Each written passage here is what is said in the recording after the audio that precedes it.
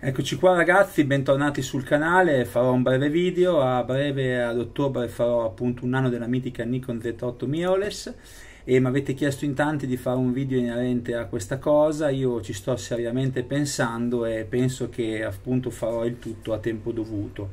Sicuramente Nikon Z8, eccola qua, la prendo, è una macchina molto molto molto importante, è una macchina professionale, in questo caso su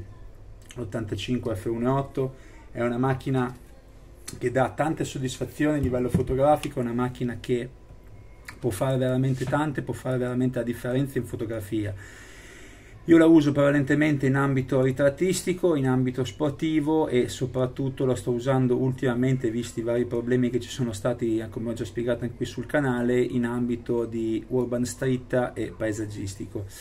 Uh, sicuramente è una macchina che si adatta a tutti con i, 40 suoi, 40, con i suoi 45 milioni di pixel, è una macchina che può permettere veramente di fare tanto ed è una macchina che fa veramente la differenza. Ovviamente non è la macchina che fa il fotografo, ma è il fotografo che deve sapere usare la macchina, questo è fondamentale e basilare.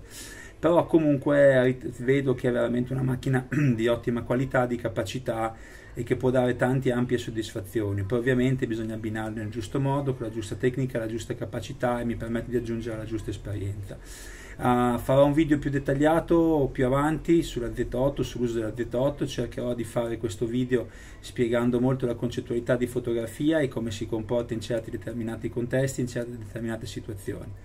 E comunque aspettiamo, dai, aspettiamo un attimo, poi faremo questo video, mi avete chiesto anche di pubblicare uh, come si pulisce il sensore, io al momento anche se è incredibile non ho ancora pulito perché avendo la tendina salva uh, schermo che poi salva sensore fondamentalmente è ancora pulitissimo il tutto e questa è una cosa molto molto positiva questa tendina su una macchina mirrorless. Uh, poi mi avete chiesto in tanti cosa ne penso della fotografia naturalistica, un po' la sto facendo, molto meno di prima, anche perché la faccio con l'altra macchina, la mitica Z8, Z6 scusate, la vedete, usando Z8 l'uso per l'altro questa Z6 che è ancora chiusa, e poi uso il cannone, cioè questo 200-500 che tengo qui in questo zaino specifico apposta, apposito, e niente, insomma questa è un pochino tutta la storia, vediamo un attimino tutto a tempo debito come si metterà, comunque avete richiesto questo video in 14 sicuramente tra un mesetto penso di farlo, forse anche prima